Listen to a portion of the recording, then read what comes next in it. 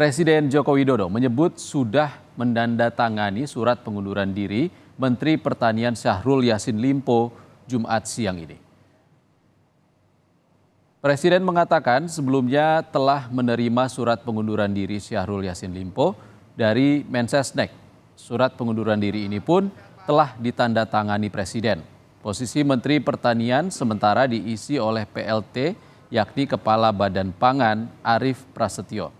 Terkait siapa yang akan mengisi kursi Mentan, Presiden akan mengumumkan secepatnya.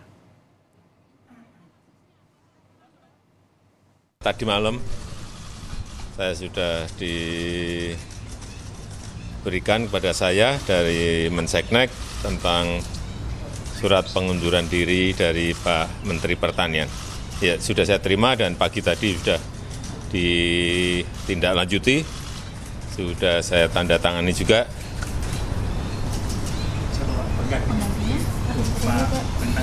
Uh, penggantinya uh, masih PLT, PLT-nya Pak Arif, Pas, Arif Prastio, Kepala Badan Pangan.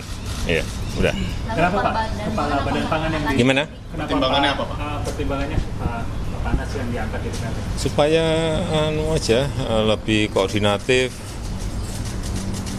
lebih memudahkan karena biasanya kita